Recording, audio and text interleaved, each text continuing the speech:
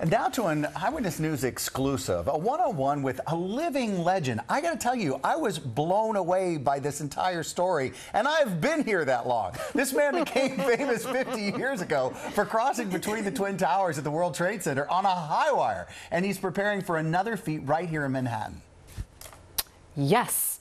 He is well into his 70s, mm. and Kemberly Richardson uh, is back with us to share his amazing story oh. because he might be that age, but how does he act, Kim? Oh, he acts like a teenager. I, I can't wait. You know, not many people impress me. Philippe Petit grabbed my heart and my soul. He's 74 years old. Right. He'll be 75 August 13th. Incredible. He still practices six days a week for three hours a day. He has been an artist in residence at St. John the Divine for more than four decades. And he says what's going to happen there August 7th and August 8th is, he told me, it's going to be his most beautiful and inspiring walk ever. He is going to get on the high wire. This was in 1974, 1,350 feet above the ground the highest walk he's ever done. He walked for 45 minutes. He made eight passes.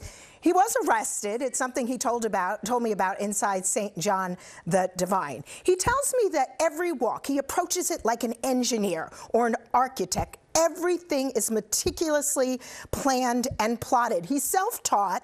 He was not in the circus. He never joined the circus. He actually was surrounded with art and theater, as he grew up in France. He jumped on the wire first when I he was a get teenager. Off the floor when I'm laying I like know, I know. Oh, he grew up in France, and what he's going to do again on August 7th and August 8th inside St. John the Divine yeah. is another walk a nod to this 50th anniversary. His longtime friend Sting, just a little name drop. He's going to perform during the during the walk. There'll be some other surprises there. Wow. I want you to hear from Philippe just about some of his life philosophies. Okay. 50 years, it's a lot of fingers on your hand, and yet for me it's like yesterday. I am stronger today as an old man than I was when I was a 18 years old rebellious kid trying to prove things. I have nothing to prove. I am so happy to be on the wire and so happy to offer a performance for the people, and they come after the show and they say, we were inspired which is the greatest compliment. When I grab the balancing pole and I'm ready to do the first step, I know that my last step will be victorious. If not, there will be fear as a frame and I will not be able to function. That's what I said to him. Wow. How are you not afraid? He said, I'm not. I'm like a bird.